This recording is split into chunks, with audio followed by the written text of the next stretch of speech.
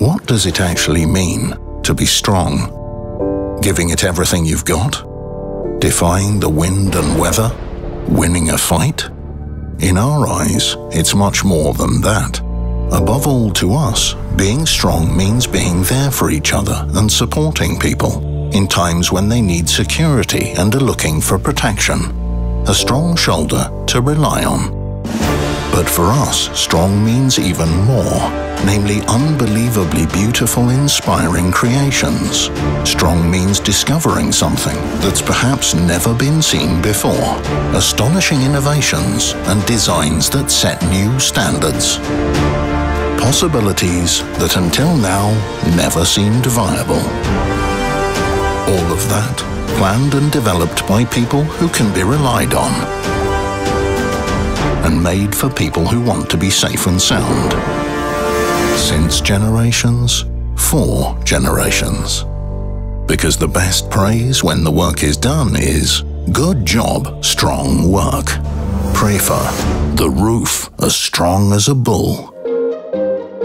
Dragi gledalci, srdačan pozdrav sa Oris Online. E, ovog puta imamo ponovno veliko zadovoljstvo, e, zato jer mislim da je pred nama vrlo zanimljiv program.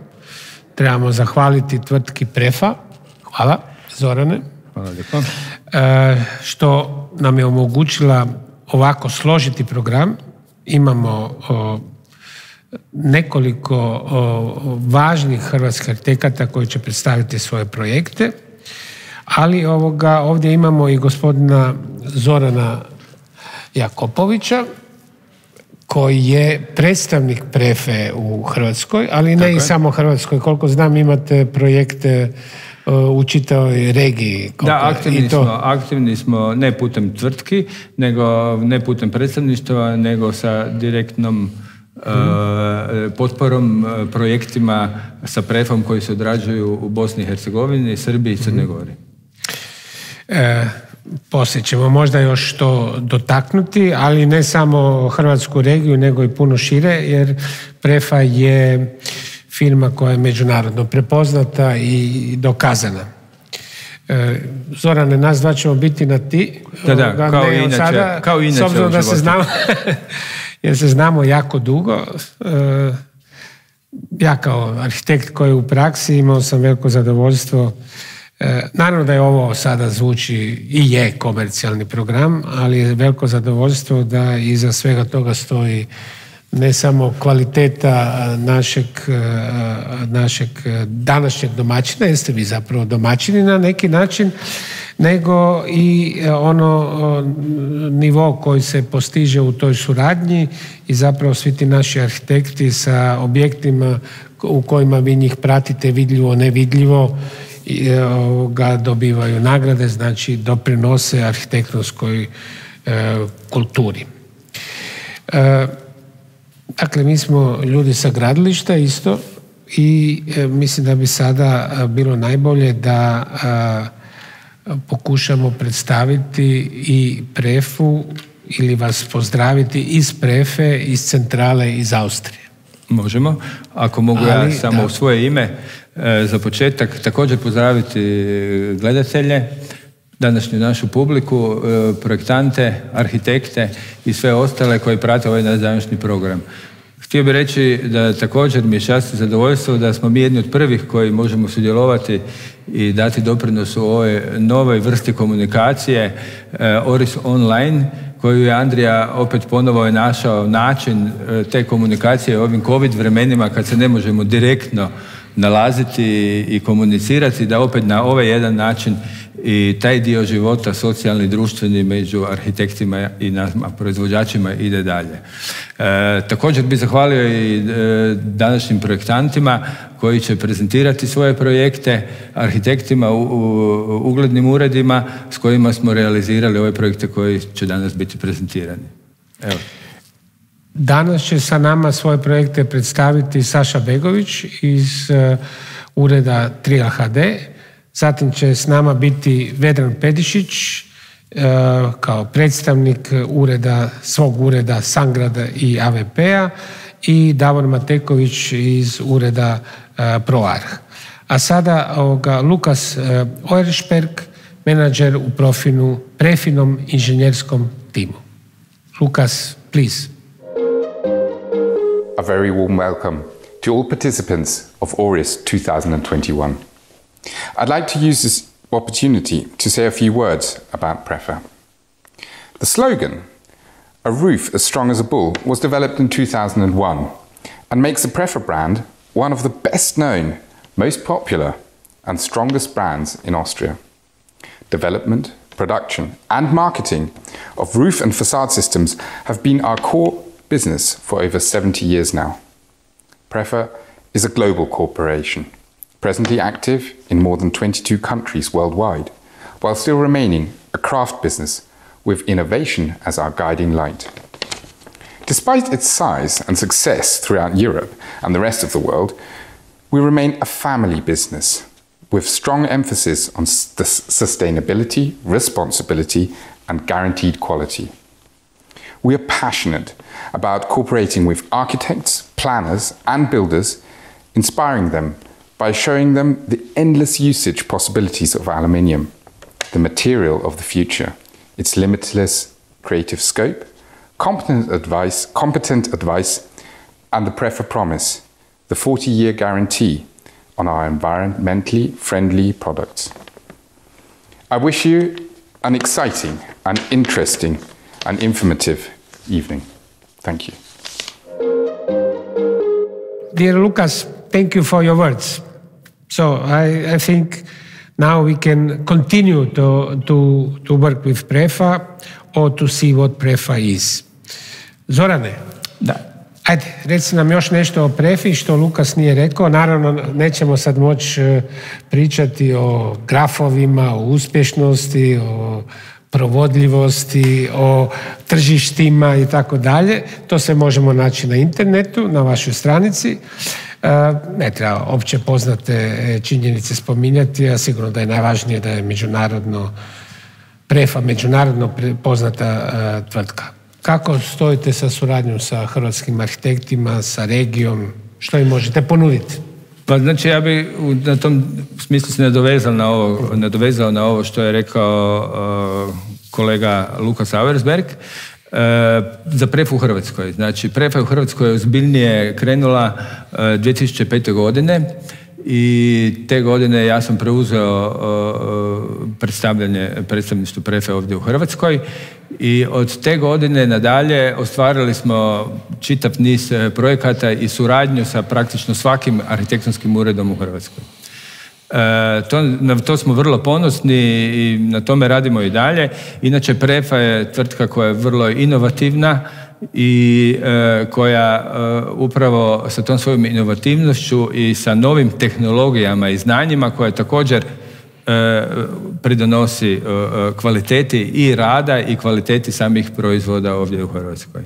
Tako da sam, ja moram reći, rezultati ovih 18-17 godina e, možda su mogli e, biti i bolji, a s obzirom da znamo kakve krize smo prolazili kao, kao država i kao gospodarstvo, međutim i dalje sam vrlo zadovoljan i jako dobro radimo čak i u ovim, e, u ovim korona vremenima. A nisu te ni otpustili? A ne, pa ne, ne, vrlo su, vrlo su zadovoljni. U međuvremenu smo, kao ono što sam rekao, proširili se malo i na tržišta Bosne i Hercegovine, Srbije i Crne Gore, tako da to je jedan veliki potencijal od kojeg tek očekujem e, e, da, se, da će se razviti u budućnosti. Odlično. E sad, e, mi smo hvalili Prefu, hvalili smo tebe, govorimo da ste odlični, ali mislim da ste napravili jednu odličnu stvar koja govori sama za sebe, a to je vaš projekt, vaš program, vaša web stranica Preferencen. Znači na toj stranici možemo vidjeti što je sve, gdje je sve prefa prisutna, to su neka su fantastična imena. Znači, preference online nije samo ta internetska stranica, e, nije samo taj website, nego e, odabrani od e, projekti iz toga se dva puta godišnje objavljuju u časopisu objavljuju se u časopisu koji je štampan u retro stilu kao one velike novine i također se arhitekti mogu za primanje tog e, e, časopisa prijaviti nama putem te internet stranice. Osim toga, već unatrag zadnjih šest godina u okviru tog programa Preferencen, Prefa izdaje e, odabrane projekte od svih ovih cjelogodišnjih prijava svih tih projekata. Nekakvih desetak projekata objavljuje u knjizi, godišnjoj knjizi Preferencen koju mi također redovno distribuiramo arhitektonskim uredima. I oni ih to mogu u svakom momentu naručiti putem internet stranice. E, Zorane, hvala ti za ove riječi oko vašeg ovog sjajnog e, projekta kojim promovirate arhitekturu. Mi smo Oris kuća arhitekture i promoviramo arhitekturu, želimo to kroz e, sjajne partnere kao što ste vi. Sad ćemo zamoliti Ursulu Ober-Nosterer, ambasadoricu Prefe da nam e, još nešto kaže o, o preferencen, zgodne preferencen, e, da saznamo o tome, da se možete prijaviti, da možete ući u tu stranicu, da možete e, konkurirati za ove krasne stvari.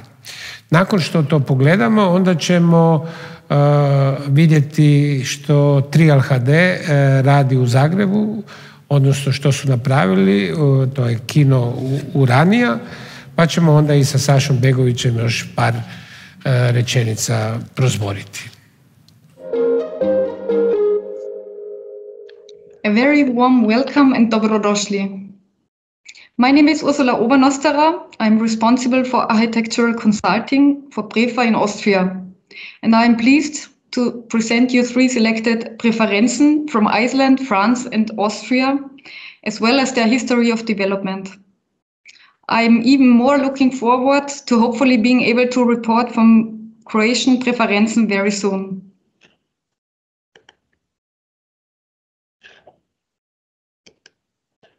First of all, what are these Präferenzen about? Präferenzen, the Forum for Aluminium and Architecture, is our platform for innovative and outstanding solutions for roofs and facades. Präferenzen offer inspiration, the famous look behind the scenes, and impressively demonstrate all these possibilities for the design with our Prefa Complete system. Every year, the Präferenzen Architecture book puts the focus on outstanding objects and the people behind them.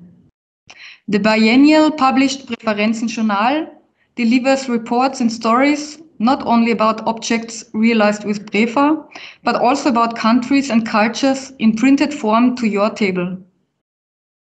The Präferenzen Online Journal is our digital offer and provides you 24-7 with the latest short reports on architecture, technology and people. Let us now start our journey in Iceland. In the heart of Reykjavik, an inner city parking garage was to be converted into a residential and commercial building in order to bring more life to the city. In search for the right material, the choice fell on aluminium. On the one hand, as Reykjavik, located by the sea, presents a challenging climate for facades due to the salty air and rough temperatures. On the other hand, as aluminium conveys lightness. And that's what was desired there. When implementing the facade, the architect Trygvi Tryggvason played skillfully with the wide prefa format and color mix in order to accentuate the large facade area. The result is a facade divided into three products in three colors. Siding X, shingle and rhomboid facade tile in anthracite, white and sand brown. Architect Tryggvason has expanded the 3 per 3 principle by skillfully playing with format whites and laying directions. The siding X was used vertically and horizontally as well as in various whites a successful example in our opinion that shows that not always less is more, but in this case, more is more. We now travel to France. DLV architects used an empty lot in the former wholesale district of the industrial city of Nantes in western France to build their own small but fine architecture office in the so-called Quartier Brut.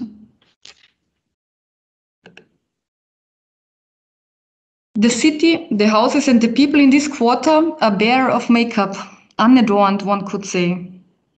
The term brut, however, should not be misunderstood. It stands for materials that are sustainable and of high quality, the surface of which exudes particularity, materials that are self-sufficient. In addition to the challenge of accommodating rooms that are as suitable for office as possible on a small base area, the architects had to cope with and hence be satisfied with a relatively small facade area. The architects were looking for a material that was already available in the quarter in a different form and at the same time contrasted with the existing facades. They found what they were looking for in the 2 millimeter thick prefa serrated profile. The bare aluminium can also be described as blank, unadorned.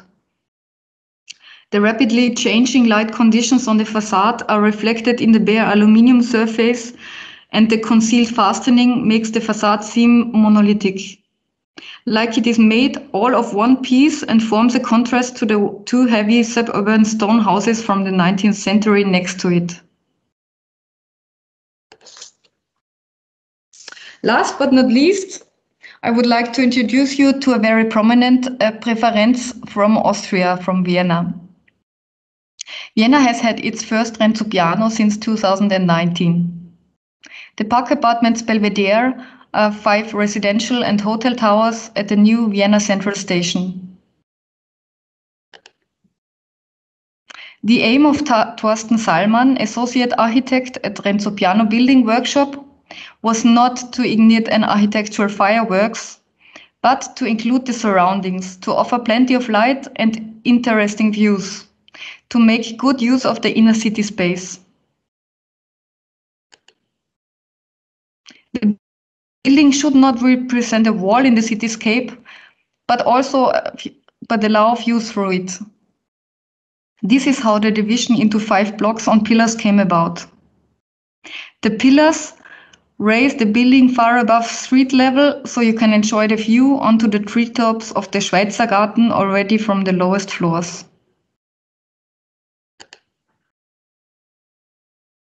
The facade is a high quality combination of glass, ceramic elements and extruded prefa ripple profiles colored in metallic silver, which were rounded especially for this building project. According to Salman, ceramics represent the tension between the new and the old. Both aluminium and ceramics do play with light. During the course of the day, the facade changes its, its color depending on the sunlight. So make up your own mind and come and visit us in Austria. We have plenty of other preferences in Vienna, which we like to show you. This was just a small selection of the possibilities you gain when planning with our products. Let yourself be inspired. Let us advise you. We accompany you from planning to processing. Refa, strong as a bull. Dobar dan svima. Ehm, ja sam Saša Begović iz studija 3LHD. Ehm, zahvaljujem se Andri Rusanu i Orisu što su nas pozvali da prezentiramo projekt ranije. Kao što svi znate, ili većina vas, stara kina u donjogradskim zagrebačkim blokovima su od početka 20. stoljeća nekih 30 njih egzistiralo pa sve do 90. godina prošlog stoljeća i oni su bili jedna od bitnih točaka kulturnog života, javnog naravno, i na neki način ta promocija nove filmske, nove umjetnosti filma i bile su jedan vitalnih dijelova donjogradskih blokova. Studio Trail HD je tražio prije tri godine novi prostor i nekako igram prilika došli smo do saznanja za taj prostor koji je propadao, a u stvari tih 90-ih kad se otvorila sa prva multiplex kina jednostavno je dolazilo do odumiranja tih starih kinodvorana zanemarene su ili su prazne, a mi smo i sudjelovali u preuređenju dva kina Lika u Plesni centar i kina uh, Apollo u Histrijanski dom. Um, to kino je smješteno na Kvaternikom trgu broj 3 u bloku i u biti je jedan uh, klasičan primjer, što bi se reklo, tog blokovskih kina. Jedno od najvećih je bilo u to doba i mi smo željeli, osim novog ureda, na neki način stvoriti mjesto koje će arhitekturu i ono čime se mi bavimo, a i to je malo šire, znači nekakvim javnim eh, prostorom, javnom komunikacijom javnim događajima, da nekako kroz prostor izložbi predavanja raznih događanja otvorenog tipa, da to postane neka nova točka okupljanja ili stara i aktivacija ovog dijela grada. To nam, nam je bilo nekakav, što se kaže, cilj. Um, u ranije je smješten taj unutrašnji dio bloka, ovo je recimo fotografija baš iz onog trena kad smo mi ušli, to je bio skladišni prostor sa tim spuštenim stropovima i oblogama i ovo je bilo glavna, glavna taj ulaz i mislim uspreko svoje starosti zgrada je po nama bilo tog starog kina odlična za predispoziciju i prilagodbu znači novoj funkciji tom javnom prostoru različitih namjena, a i uredskim prostorima. Možda smo otkrili ovakav sitno rebričasti krov koji je mislim, uz, to što kad smo ogulili kompletno tu konstrukciju smo otkrili da je ona u vrlo dobrom stanju. Ali budući da je kuća iz 1939. začinu nas je ta nekakva zanimljivih, neki zanimljivi detalji. Evo ovdje se također vidi to sitno rebričasti, e, dugački sitno rebričasti strop, koji je jedan od prvih primjera inženjerske tehnologije e, tog doba, što je za nas bilo jako bitno i vrijedno za očuvanje i za obnovu toga mi smo zadržali e, od četiri volumena e, tri, osim onog prednjeg ulaznog prostora koji je bio u lošem stanju. I evo ovdje se vide u stvari kako smo ogulili tu konstrukciju e, i na neki način vidjeli koji je potencijal toga. Naravno, glavna stvar je ovdje bio da ta velika dvorana od 9 metara i ta bočne bočna krila, bočni brodovi, ajmo ih tako zvat, su imali u stvari te, prolazi su samo 3 metra, ali ova dvorana od 9 metara u biti omogućavala da se, da se na nju intervenira, ali jedna od bitnih i najbitnijih stvari za, za da novo funkcioniranje tog prostora je u biti upravo uvođenje svjetla unutra. Mm, mi smo te bočne ulaze jednostavno maknuli smo taj krov i napravili smo jedan zatvoreni atri, malo kasnije ćete vidjeti. I u biti kad smo ogulili svu tu konstrukciju, ovdje se lijepo vidi, osim učvršćivanja temelja i, i, i sve te konstruktivnih elemenata, ili ipak je to iz 39. zbog potresa, jednostavno smo morali razrezati neke elemente i u biti ova, ovaj, rez, ovaj rez na sredini je omogućio taj, taj svjetlo od ozgora, taj skylight, u toj glavnoj dvorani, a bočni, kao što sam rekao, prostori su omogućili e, taj, e, to svjetlo uvođenje njega unutra. Još je zanimljivo da smo otkrili da taj bačvasti strop nije nikad bio pokazan, nego je bio nekakva e, dvostrišni krov, čudno, čudna odluka. Ovdje se vide ti volumeni, znači taj ulazni koji smo zamijenili za stakleni paviljon, taj glavni prednji volumen kojem smo u biti korigirali otvore, ali ostavili ih u istom broju, samo uredili te prozore i taj zadnji volumen sa, sa dvoranom gdje smo probili sa strane male prozore i taj, to svjetlosni taj element stavili na krov. Uh, možda ono što je još bitno da taj izazov tog, tog prostora uz te sve konstruktivne elemente mi smo nastali zadržati maksimalno uh, sa tim intervencijama maksimalno lokalne, uh, maksimalno materijale koji su izvorni, što se kaže. Znači, ciglu smo reciklirali, tu sirovu žbuku na nekim mjestima, beton smo stavili, stavili smo i na podove, na neke dijelove stropa koji su ostali e, i dok je sva nova oprema rađena vrlo jednostavno i, od, od, jednostavnih prirodnih materijala kao što su hrast, e, furnir, e, smreke i cirovi čelici za, za neke obloge, zidove i unutarnju stolariju. Ovdje ću samo brzo proći po po tim nekim nacrtima. E ovo je ovo što sam pričao, to je taj klasični recimo, reklo bi se trobrodni presjek, i ti spušteni stropi gdje se jednostavno taj, taj, taj prekrasni sitno rebričasti strop svod nije ni vidio. Ono kad smo to skinuli, morali smo uvući, kao što sam rekao, bočno, znači maknuti krovu tih bočnih prolaza da bi dobili svjetlo dolje i te otvore koje sam spomenuo od ozgora i sa strane glavnoj zgradi. Kroz ovaj uzdužni presjek se vidi ta dvorana koja je nekad primala 800 mjesta, jedna od većih u Zagrebu je bila. I mi smo tu ekstenziju napravili e, balkona na neki način i dobili još jedan taj prostor e, na gornjem dijelu tog našeg studija. Mi e, od uvijek imamo studio kao otvoreni, otvorenu platformu za komunikaciju svima.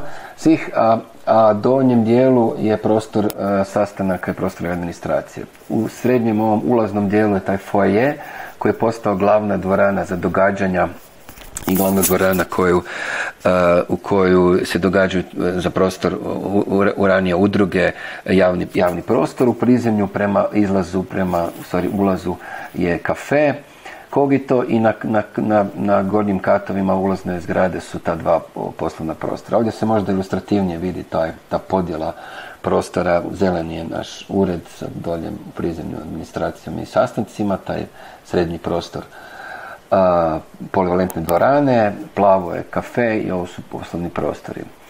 A, mislilo se naravno kad se već preuređuje na, na, na naravno pasivnu i aktivnu um, drživost i energiju, znači maksimalno uvođenje sunca i svjetla u prostor, na neki način je i, i ti atri koji su postali zeleni dio, postali su zeleni dio, dio čitavog prostora je sa ostaklenim hodnicima, a ovaj dio koji je koji je, eh, kako se zove, eh, studijski prostor, to ćete malo kasnije vidjeti, je napravljen vrlo, vrlo ovaj, zanimljivo kao jedan eksperimentalni dio za svježi zrak i rekuperaciju zraka. Ovo je taj tlocrt prizemni, što sam već spominjao, znači lijevo su administrativni prostori za sastanci, u sredini je polivalentna dvorana kafe, na katu gore je studio 50 za 50 ljudi, uredski prostori i terasa kao neki bonus plus tog prostora. Evo ovo je dio prostora koji sam govorio, znači te rekuperacije zraka, podnog grijanja i, i ulaza svježeg zraka. Ovdje se vidi ilustrativno tri kolone. Prvo je snimljeno sa, sa point cloud tehnologijom postojeće stanje, pa rendering i na kraju ta, to izvedeno stanje. Što se tiče samog krova i te bačve, mi smo shvatili da kako imamo tu krivulju da moramo naći materijal koji je primjeren da se ta krivulja napravi. Prefa nam je bilo najzanimljivija baš zato što on, ona može, mislim proizvod može napraviti se u tako velikim komadima, u jednom komadu sa odličnim detaljima i da se ta izvorna, izvorna konstrukcija, to je te krivulje, napravi kako treba.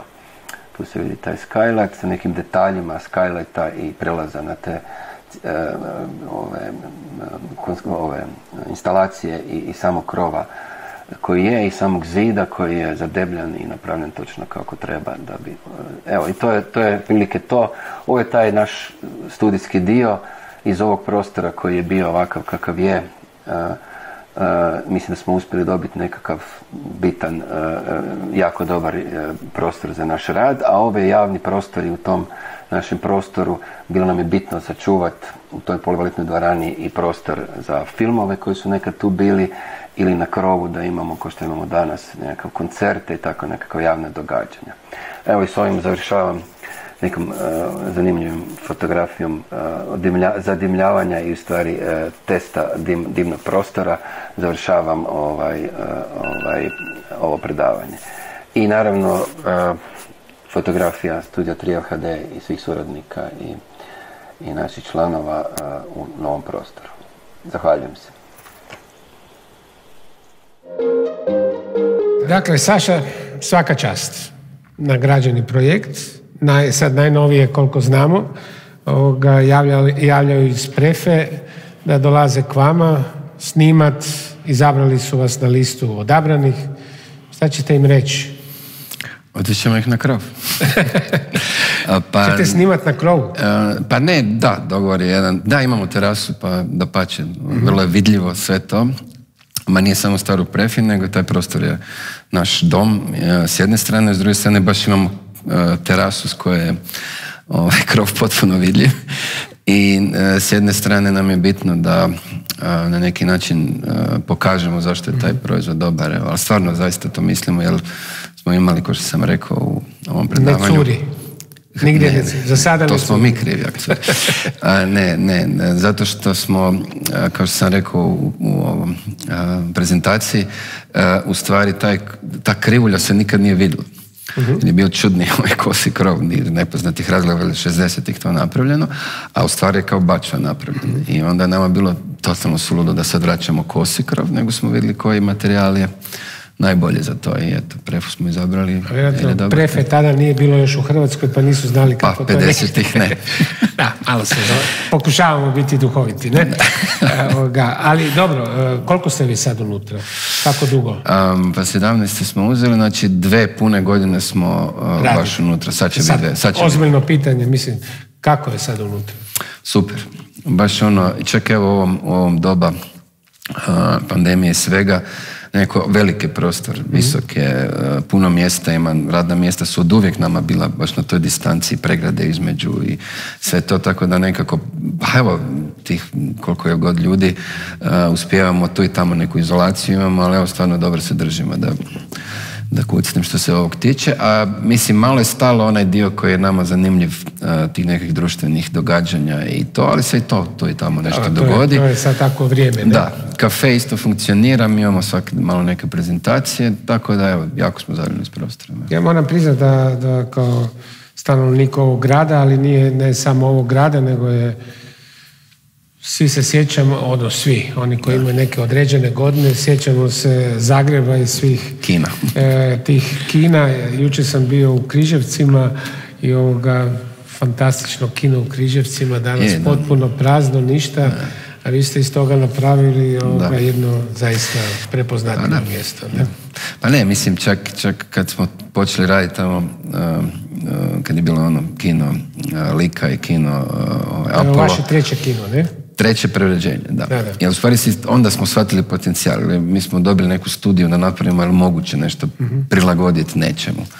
I onda smo vidjeli da to imaju potencijal, naravno da imaju potencijal i tako su i napravljeni. A ne znam, ljudi čak i ne znaju, začude se kad ja kažem da je bilo 28 kin. Da, da, da. U bloku, da, bloku je nekih dvadesetak, još ono malo po periferiji recimo. I uvijek su bili manje više, uvijek su bili unutar bloka, što je zanimljivo, jer je to nekakva... Ono...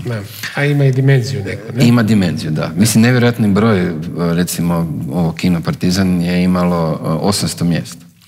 Što sad mi malo čudno to da je 800, ali to su valjda bilo. to ćete, kak, kak vam je krenulo, to ćete za tri godine morati tamo otići. Ne, ne, dakle, ne, ne, ne, Dobro, dakle, to nam je bio Saša Begović iz Trial HD-a. E, mogli bi o tome pričati još jako dugo, ali eto, imamo i drugih zanimljivih gostiju. Ne? Sad ćemo zamoliti Davora Matekovića da nam priča o svojem najnovijem, još nezavršenom projektu e, na, na jednom predivnom mjestu u Zagrebu, Ribnjaku. Dobar dan svima. E, prije svega zahvalio bi se na pozivu za prezentaciju. E, ukratko bih vam danas prezentirao jedan naš projekt e, koji je upravo u fazi realizacije, a radi se o interpolaciji stambenog objekta na Ribnjaku u Zagrebu. To je jedan od naših e, tekućih projekata slične tipologije koje trenutno radimo u Zagrebačkom zaštićenom e, centralnom tkivu. Odnos prema blokovskom urbanizmu i karakterističnim elementima uličnog platna smatramo najbitnijim dijelom u procesu projektiranja interpolacija u formiranim zaštićenim dijelovima grada i e, pokušavamo se prema tome tako i odnositi. Interpolacija na ribnjaku e, možemo kvalificirati kao interpolaciju metodom kontrasta gdje se interpolacija ne smatra pukim popunjavanjem prostora, već pokušajem stvaranja nove, nove vrijednosti. Cjelovitost e, povijesnog ambijenta Donjeg grada je e, zadržana na taj način, ali istovremeno i kvalitetno unaprijeđena upotrebom novih materijala i tehnika, pri tome ne narušavajući e, postojeće urbano tkivo i nasljedje, te maksimalno poštivajući zaštićene mase, volumene, mjerila i e, sam ritam uličnih pročelja. U ovom našem slučaju novo formirani objekt je ugrađeni volumen te tlocitnog oblika sa središnjim dvorišnim krilom, pri čemu njegova dubina prati dubinu e, postojećih građevina na parceli, te većim dijelom e, u svom volumena u kosini zbog gupovskih odreba i odmicanja objekta od međa za H-pola. E, nešto o samom objektu. E, objekt se sastoji od e, ukupno 18 stambenih jedinica na pet nadzemnih etaža sa četiri stana po etaži. Na zadnjoj etaži su dva velika stana, dok su u suterenu i visokom prizemlju smješteni poslovni prostori. Garaže su, se nalaze u podzemnim etažama, e, ukopanim u padinu e, terena. E, svi stanovi imaju dvostruku orijentaciju, prema ulici su smješteni prostori dnevnog boravka, blagavone i kuhinje, u središnjem prostoru e, sanitarije i garderoba, dok je e, spavači trakt okrenut prema e, dvorišnoj strani. Jezgru zgrade formiraju dva stubišta s dizalima iz kojih se direktno ulazi u stanove, osiguravajući na taj način privatnost i ekskluzivnost samog stanovanja. Stanovi i na prvom katu ujedno imaju i pripadajuće zelene vrtove sa dvorišne strane u razini e, prizemlja. Dvosredna orijentacija stanova i naše inzistiranje da svaki stan ima jednako vrijedan prostor prema ulici prouzročio je longitudinalne tlocrte stanova sa dugačkim komunikacijama. E, sama lokacija koja pruža izrazitno, izuzetno kvalitetne izvore prema zeleninu parka, e, ribnjaka, kaptola i samoj katedrali. E, smatrali, smo e, kao prioritetima ispred idealne funkcionalne dispozicije i, i omjeru komunikacija u odnosu na kvadraturu e, stana.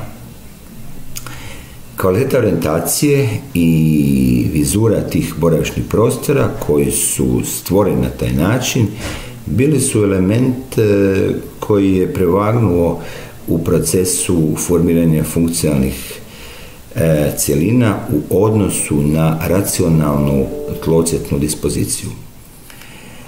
U samoj artikulaciji pročelja e, koristimo staklo kako bi se maksimalno otvorile vizure iz interijera prema vanštini, a istovremeno na taj način dobijamo zanimljivo i uvijek drugačije oslikavanje parkovne zelenila na e, fasadi.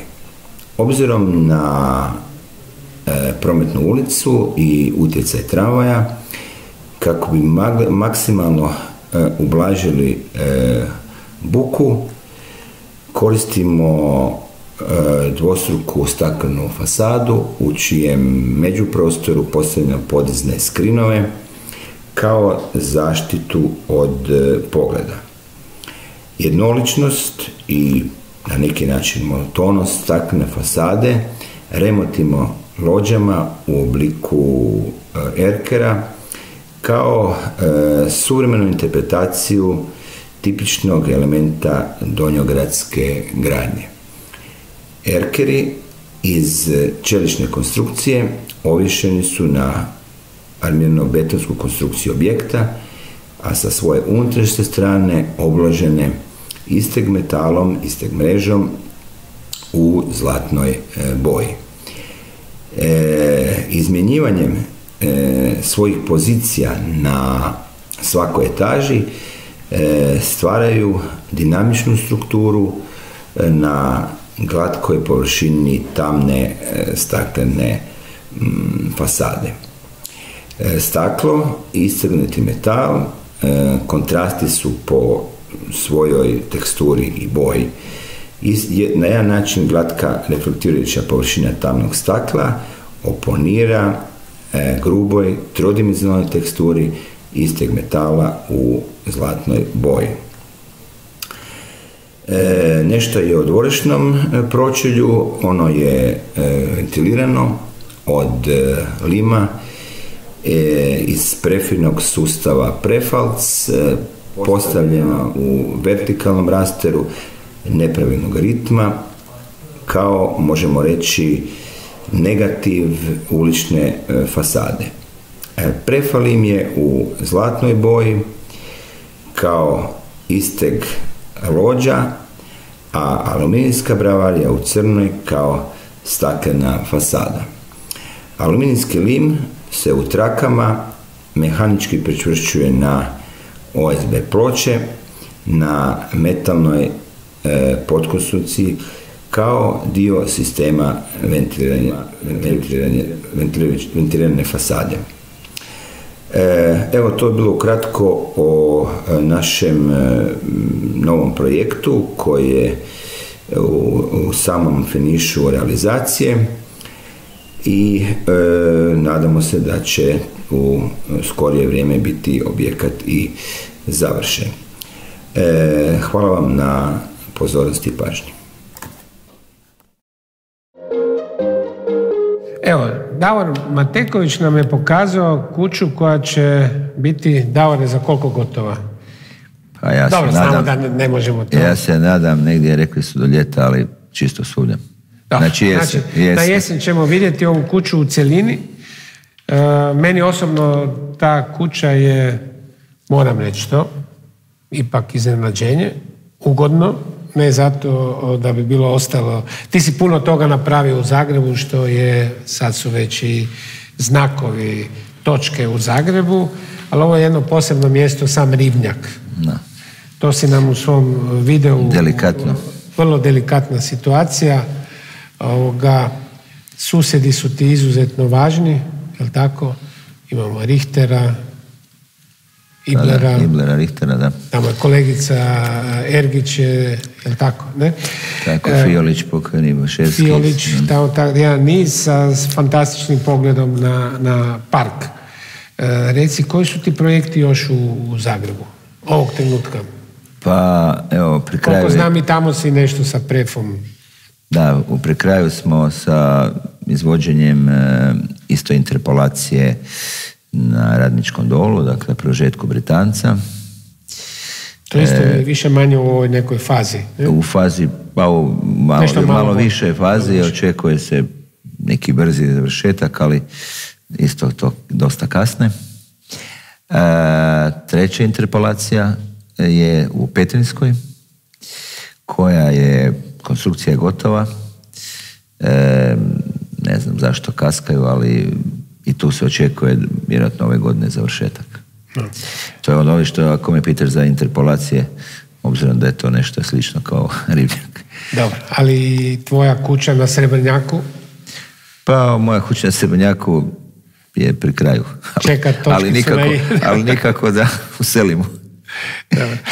Ovoga, ja moram priznati kod ove kuće, osim što me je e, razveselila, ovoga, tvoja fasada prema Ribnjaku, ta kombinacija crnoga, e, izvučenog, uvučenog, zlatnoga, te sjene i zapravo taj ritam koji mi se jako sviđa u odnosu na okolinu, u dvorištu na jedan put jedan kontrast sa tim limom u zlatu. E, meni je palo na pamet da si to ne napravio zato da imaš zlatno, nego da imaš jednu svjetlu fasadu koja zrači jer je u dvorištu, ipak u dvorištu, to se nam lijepo isto u videu nešto objasnio. Da, zapravo to se radi, to je negativ uličnog mm pročelja, gdje je prefalim u zlatnoj boji kao protuteža e, istegu e, metalu u zlatnoj boji na, na pročelju uličnom, a e, prostorski okviri, odnosno aluminijska bravarija je tamna kao staklo na uličnom pročelju. Ali dobro se primijetio, mislim da se tu radi o tome da na neki način oživimo taj blok, da da dajemo neku kontrast onome što je napred Istovremeno rješavamo pitanje kosina koji su e, u volumenu koji su proizašli iz e, ovog upovskog pravila Hapola u odnosu na susjedne međe. Time rješavamo znači, odvodnju, e, zaštitu i tako dalje. I, mislim da ta kuća nekak ima neki, i kad gledaš sa druge strane ritam, ima neki volumen koji je, koji je razigran, nije puk neki, neki volumen koji samo služi da zapravo stvori uh, kvadrate. Kvadrate, da. Tako da mi se čini da ono obično se za taj, taj, taj unutrašnji dio zanemaruje, ali meni se čini da, je, da će tu biti zanimljiva kuća i sa dvorišne strane. Pa da, mislim to, da li će nas puštati u dvorište ili je, vidjet ćemo. to, to ne znam. Obzirom koliko priča će biti kvadrat, tako da ne znam ko će, ko će, ko će ovoga biti, biti e, Sve te stvari zahtijevaju dobre inženjere u uredu, da se nacrtaju svi ti detalji, ali vjerojatno bez prefine suradnje ili sa prefinom suradnjom je to sve lakše. Pa da, mislim, mislim da imamo sreću tu za takav projekt da imaš i kvalitetne izvođače i kvalitetne materijale. Mislim, tu je sigurno prefo sa svojim e, tehnologijom i ovoga, razredom i dobrim izvođačima e, je puno lakše oko tih detalja koji nisu standardni. Ovoga, sa ove ulične strane imamo pak e, odličnu firmu KFK koja isto radi ovoga top projekte i top razradu, a i kad imate takve dve jedne firme, jedne izvođača, tako dva, onda jednostavnije ostvariti ono što ste zamislili kao projektante. Eto ga, to nam je Davor Mateković, ovoga, uvijek je ovakav miran, smiren, jer da nije takav ne bi sve te projekte mogao nabaviti, napraviti. Davore, hvala. Hvala vam. Sada kada smo porazgovarali sa Davorom Matekovićem, možemo pogledati što Vedran Pedišić i Gordana Gregurić-Miočić iz Sangrad AVP-a rade u Slavonskom brodu. Dakle, jedan krasan video o kajakaškom klubu u Slavonskom brodu. Kajakanu klub u Slavonskom brodu realiziramo Gordana Gregorić Miočić i ja 2019. godine. Govorimo o projektu koji nastaje u gradu, u gradu na vodi, na rijeci Savi, gradu koji ima sjajnu Savu, Savu koja ima prekrasan profil, ona je bistra, ona ima obostranu vegetaciju, ona je zapravo nešto što je element, možemo reći, koji motivira ljude da se počnu baviti kajakom i kanuom. A jednako tako imaju i tu sreću da imaju gradonačelnika Mirka Dusparu koji to razumije, koji to prati i koji na neki način taj trud tih ljudi je spreman nagraditi. I zahvaljujući tome 2016. godine mi krećemo sa, možemo reći, pripremama koje su uslijedile realizacije objekta. Slavonski brod, grad na rijeci, ima jednu fantastičnu tvrđavu iz 18. stoljeća, zelenu tvrđavu, tvrđavu uz rijeku, uz granicu. Isto tako imamo lokaciju, lokacija koja dijelom je sjajna jer ima Savu, ali opet nije idealna. Ona je, možemo reći, granična pozicija u sportskom centru Vioš, sportskom centru koji pored sportske dvorane plivačkog centra ima veliki nogometni dio sa stadionom kluba Marsonija i sam objekt je, možemo reći, granični element između nogometa i orijentacije prema rijeci Savi. E, ono što je, možemo reći, ovoga bitno, da pored tih kontekstualnih elemenata, u našem projektu je jednako tako bitna ta simbolika. Simbolika koju ima crkva, simbolika koju ima hram, simbolika koju ima kazalište. Jednako tako i mi pokušamo iskoristiti taj element metafore u stvaranju. Pa tako u jednom logici ljudi koji nose taj kajak prije nego što ulaze u vodu, taj moment, taj kadar smo mi na neki način zabilježili. Pokušali smo ga prikazati kroz arhitekturu.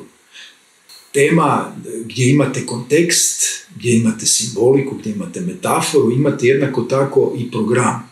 Program u našem slučaju je nešto što radimo zajedno sa dva kajakaška kluba, sa klubom Marsonija s jedne strane, s druge strane sa klubom Olimpik.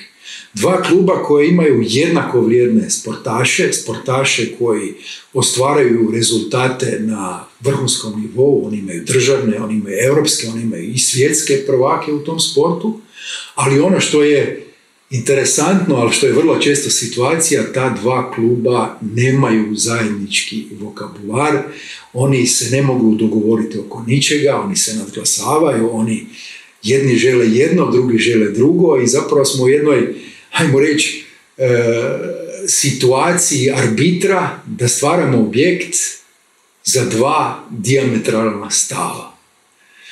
I u tom kako bi rekao, e, momentu radimo kuću koja ima pomoćne prostore u vidu spremišta kajaka koji su nekad bili u hangarima koji su smješteni u toj okolnoj zoni, ali imamo dva hangara praktično u jednoj kući. Imamo dvije slačionice koje naravno po nekakvim standardima s jedne strane imamo ženske slačionice, pa imamo muške, ali u ovom slučaju su to bile slačionice koje pripadaju jednom klubu, odnosno pripadaju drugom klubu, pa tako imamo i administraciju. Administraciju koja opet pripada jednom klubu i pripada drugom klubu. Međutim, elementi koji su zajednički su zapravo sad taj naš zadatak da ih na neki način povežemo i stvorimo taj, tu priču, tu simbiozu logike. Simbiozu logike koja je vrlo često e, zadatak arhitekata. Ne? Imamo teretanu koja je dvoetažna, a onda na katu imamo klubske prostorije, klubske prostorije koje imaju vizuru prema Savi, a jednako tako imaju vizuru prema nogometnom terenu. Jer govorimo cijelo vrijeme o graničnom elementu. Isto tako na tom istom katu, prema nogometnom trenažnom terenu, znači to je trenažni teren koji zapravo koriste E, djeca roditelja, roditelja koji neovisno o samom kajakanu u klubu dolaze preko vanjskih stubišta, imamo ih dva iz evakuacijskih razloga, dolaze na tu povišenu platformu kluba, na tu povišenu terasu, na taj povišeni kafe i imaju prezentaciju svoje djece na strani nogometa, odnosno kajakaši s druge strane imaju prezentaciju kajaka svojih kolega u vodi koji plove, koji se bore sa, sa rijekom i idu, kako bi rekao. Kad govorimo o arhitekturi, govorimo o arhitekturi koja je jednako tako dvojaka, dvoznačna. Imamo s jedne strane e, betonski donji korpis koji je srasao sa zemljom, ta čvrsta masa koja je bitno e, različita od onoga od što je zapravo kruti disk koji je nad njim. A stupovi, ti čelični stupovi su zapravo ta nit, te ruke koje taj kruti disk dižu, odnosno drže iznad te mase. A staklo je to koje, možemo reći, taj fluidni medijator između dvije teme. Možda su mi najdraže ove fotografije koje govore o gradnji i onda je ta arhitektura zapravo ona iskonska, ona koja je bazična, zato je dodatno pojačana kroz ovu crno-bijelu prizmu gdje zapravo se lišavamo svih viškova u slici. I kad maknemo sve te viškove u slici, onda dolazimo do tih elementarnih stvari koje čine svaku, možemo reći, suvisnu temu. Tema, s jedne strane tema, kao što sam ranije rekao, čvrsta, s druge strane tema tog kišobrana, tema tog krutog diska, koji je opet funkcionalni element. Znači, ta streha, taj kišobran, pokriven prefinim, fantastičnim limom, je zapravo tema koja je itekako funkcionalna. Znači, kada priprema kajakaša počne, oni se vrlo često pripremaju na tom vanjskom prostoru ispod te nasrešnice velike, a opet su odijeljene tim zidom, zapravo stvorili su sa ta dva elementa poziciju mjesta. I mjesto je zapravo to koje funkcionira. Mjesto je to koje je omeđeno sa ta dva elementa, dva elementa s jedne strane vertikale, s druge strane horizontale, koje umeđuju prostor. Sam prostor prostor kajaka, gdje se oni, pomoćni prostor gdje se oni skladište, je zapravo jedan ventilirani jednostavni prostor gdje se ima, oni imaju priliku osušiti, jedan, možemo reći, bazični prostor koji u ovom slučaju kod nas odijeljen, imamo jedan i drugi koji su vrlo slični, ali različiti su toliko što pripadaju jednom nazivu, odnosno drugom nazivu. Teretana, prostor koji ih objedinjuje, pokriven E, opet i krutim diskom koji je s jedne strane crn, metalan, a s donje strane on je ta brodska, drvena, mekana, topla paluba. A pod je taj koji je neutralan u svemu tome, on je, on je siv, on je jednostavan, to zidno platno u interijeru je bijelo, ono je bijelo zato što je neutralno, drvo je tako prirodno, neutralno i pokušavamo zapravo s tim elementima boje i konstrukcije doći do one bite, do one elementarnosti u kući. Prostor kluba, prostor kluba je prostor koji objedinjuje oba dva kluba. A s druge strane, taj isti prostor koji ih objedinjuje je platforma koja omogućava taj izvanredan pogled na Savu, na prirodu koja je ovdje stvarno dobra. Ta priroda uvijek kroz vrijeme varira, tako i varira, kako bi rekao, ta fotografija, taj moment kad je to sve skupa uhvaćeno. Znači, s jedne strane idiličan moment čovjeka koji se priprema za tu rijeku, a onda opet, nasuprotno tome, usmiraju dana kada ti isti kajakaši iz ta dva kluba dolaze u te svoje prostorije u onom finom, neutralnom, ugodnom, toplom svjetlu, stvaraju nekakve planove, stvaraju natjecateljsku ambiciju, stvaraju zapravo nekakvu strategiju kako i na koji način postići cilj. Ambijent uvijek nije savršen. Kod nas mi imamo ambijent e, odlične vizure prema Savi, ali opet imamo i tu e, lokaciju koja je rubna pozicija prema cesti, koja je prvi element koji prethodi nasipu, odnosno vode. A na ovoj sjevernoj strani pak imamo taj zid, imamo taj zid koji je ovoga e, membrana, granica, granica između dva sporta. Kajakaša, kajaka, nogometa, a opet kao što je ta kuća zbližava dva kluba, jednako tako ta kuća je i predstavlja dva sporta. I kajak Znači on je prvenstveno kajak, a opet on je i nogomet u tom jednom segmentu. Ova tema idilična, ove slike gdje vidimo to drveće, nažalost, je privremena. Ovo drveće će biti zamijenjeno tim trenažnim terenom, ali to je stvar, to je stvar te mjene koja je uvijek prisutna i neki elementi se jednostavno mijenjaju i moramo biti pripremni za njih. Možda, velim, uvijek najbolje ta slika govori o samoj kući, o arhitekturi, na koncu konca vizualna smo umjetnost. Krov, materijali, materijali, pokušavamo zapravo sa tim tamnim postići taj dodatni kontrast teškog i laganog. Znači, pokušavamo taj krov, taman, limeni, staviti jednako tako u taj dijalog sa tom tamnom fasadom a opet taj transparentni potez između ta dva elementa, to staklo, ti, ti stupići koji su poput, možemo reći, lagane čipke, pridržavaju rukama taj kruti disk, pokušavamo zapravo dodatno potencirati tu različitost u toj istoj kući, toj istoj cijelini.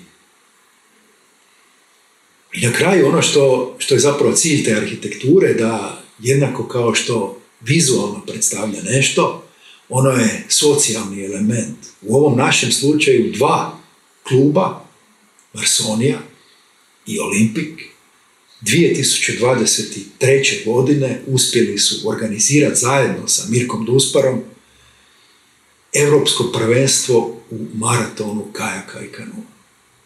Ja mislim da je to to. Hvala. Slavonski brod, svi koji ste bili tamo, siguran sam da ste se uvjerili o kakvom krasnom gradu se nalazi. Naravno, vidimo situacije koje su s vremenom taj grad nešto i oštetile, ne? ali ovog, ovog trenutka je izuzetno dobra atmosfera što se tiče građenja i svjesnosti da imaju jedan sjajan ambijent, atmosferu i jednu kulturu. Vaši projekti sigurno tome doprinose. Osim kajakaškog kluba, što još imate u Slavonskom brodu? Čuo sam da ste se uvalili. ne? Pa šta znam, javna nabava, mi radimo sve po PS-u. Po PS-u, dobro. Nema tu ništa specijalno. Ne. Da. da. Što još radite? Radimo autobusni kolodvor, autobusni kolodvor kuća koja nas jako, moram priznat, veseli, jedna velika streha, streha koja je... Opet streha. Opet streha, opet streha, volimo strehe, ne znam, u zadnje vrijeme samo strehe radimo. Ne. Mm.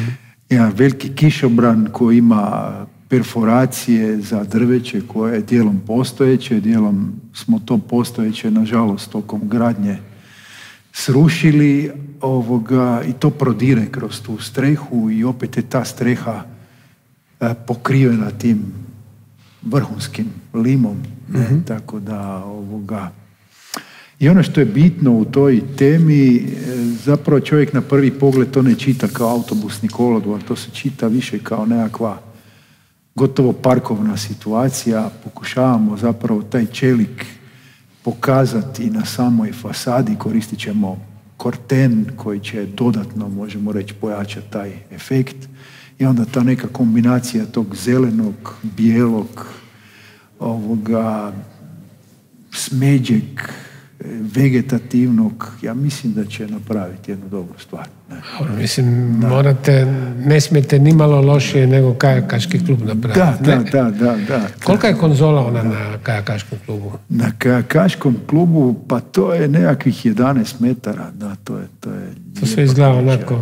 Da, da, da, da, to je... Ali još jedna stvar, moram priznati da me iznenadila i nisam bio siguran da li je točno, vi nemate žljebove na tom krovu. Nemamo žljebove na krovu, to je istina. Htjeli smo biti elementarni, ne? ono kad čovjek putuje po svijetu pa zaluta u Japan, onda vidi da je golema količina tih kuća, kuća koje su ovoga, svugdje i u gradu i na periferiji i nemaju žljeba i to funkcionira. Da pače, možemo pričati o nekom e, elementu gledanja te kiše kada se spušta niz te krove, tako da mislim da to ima smisla u konačnici. Ne, osobno mi se jako to sviđa, ali nije vas niko natjerao da pa, radite ili, ili su bar pokušali. Bilo je, borbe, bilo je borbe, borba je uvijek, ne, tako da evo, to je bila sigurno jedna da. Jesi počeo veslat? Jesi počeo veslat ili si već ranije veslao? Ma, ili uopće veslam, ne veslam, čitav život veslam. Da, što mislim... metaforički, što istinito ovoga i tak, ne. Da. Da li, da li je vaša kuća doprinjela tome da se ta dva veslačka kluba nekako pa je, to, približe, to ne samo ono da ih je natjerala neka sila na to, nego da... To mi je najveće veselje u principu, jer kad čovjek vidi tu ulaznu informaciju koja je bila 2016. pa vidi nabrušene face, kako to mhm. je već, ne, to, tu se ne biraju rečenice jednih za druge, ovoga. I onda postepeno danas čovjek dođe u taj klub nenajavljen i onda vidi te kajakaše koji s jedne strane ovoga veslaju pa se vrate u tu kuću i u smiraj dana vidiš i kako glancaju pod. Ne? Mhm. Znači nemaju oni osoblja, nemaju čistačica, oni to sami rade, ali veselite kad vidiš da vole tu kuću, da oni to glancaju, trude se, e, nije im teško, na koncu konca sami su uspjeli organizirati to europsko prvenstvo u maratonu kajaka i kanua, tako da mislim da je to dovoljno govori da, da. ja mislim da je, neki da je to, je postignut. Ne, mislim da. da je to arhitektu veliko zadovoljstvo i zapravo možemo mirne duše onda reći da arhitektura ipak doprinosi ne samo tome da radi nekakva sad ću to nekako reći banalno, radi umjetnička dijela, da ne ulazimo u raspravi arhitektura nije ili je umjetničko djelo, nego da zapravo doprinosi našem svakodnevnom e, načinu komunikacije i radosti i zadovoljstvu. S obzirom da smo sa ovim prilogom sad e, doveslali do kraja, sad ćemo ući u cilj i evo, za par sekundi ćemo vas sve pozdraviti. E, doveslali smo do kraja, još minutu, dvije, tri, pa ćemo vas pozdraviti. Prije toga sigurno nam Zoran ima nešto još reći. Zorane. Pa da, ja bih se još jedan put želio zahvaliti prije svega ovim izuzetnim uredima i ovim sjajnim arhitektima na projektima do sada realiziranim na cijeloj suradnji tokom e, realizacije tih projekata i veselimo se nekim budućim projektima koji vjerujemo da će također doći. Isto tako, e, svim arhitektima koji nas prate, želio bih reći da Prefa ima neke nove proizvode, da obrate pažnju, dakle prije svega na fasade koje su sve češće tema, e, dakle lansirali smo proizvod Siding Six, dakle trodimenzionalnu fasadu e, i također custom made izrada aluminijskih ekstrudiranih profila prema želji arhitekata. Evo, mislim da je to ono najvažnije i svakako bi napomenuo mogućnost upotrebe naših sustava u obnovi Zagreba e, gdje imamo puno iskustava, gdje imamo puno iskustava u radu s konzervatorima, suradnji sa proizvodima koji mogu zadovoljiti sve e, uvjete e, koji se postavljaju pred arhitekte za sanaciju ovih zagrebačkih zgrada gdje prije svega treba lagani pokrov, a prefa je tu na prvom mjestu. Evo, toliko. Zorane, hvala. Dakle, vidimo se uskoro ponovno na Orislajnu. Možda se vidimo na nekom krovu. Možda se vidimo u Beču, Zoran. Pa, Prefa će vrlo rado. Renzo Pijano, da, da, e, Saša Bradić, e, vaši pogoni. Imamo, Neću tražiti obećanje, ali pokušajmo ne, organizirati. Nisu to nekakva uh, kurtoazna obećanja, dakle mi smo često i vodimo partnere i manje grupe i mhm. prijatelje i u koji, dakle, kroz taj naš rad napravimo, dakle, te kontakte bliskima. Dakle, Možda ćemo to organizirati, kao što smo nekad u Orisu to organizirali uz pomoć ovakvih sjajnih partnera. Vedrane, hvala. Davore, spavaš, hvala. Saša, smješak, hvala vam. E, eto ga, vidimo se uskoro. Hvala vam. Hvala. Doviđenja. What does it actually mean to be strong? Giving it everything you've got? Defying the wind and weather? Winning a fight? In our eyes, it's much more than that. Above all to us, being strong means being there for each other and supporting people in times when they need security and are looking for protection. A strong shoulder to rely on.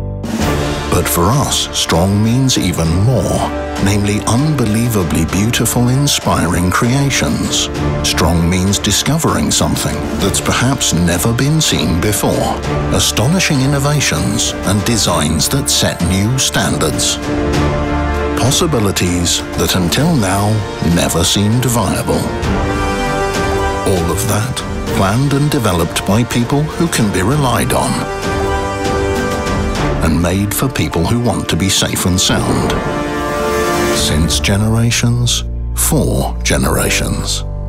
Because the best praise when the work is done is good job, strong work. Pray for the roof as strong as a bull.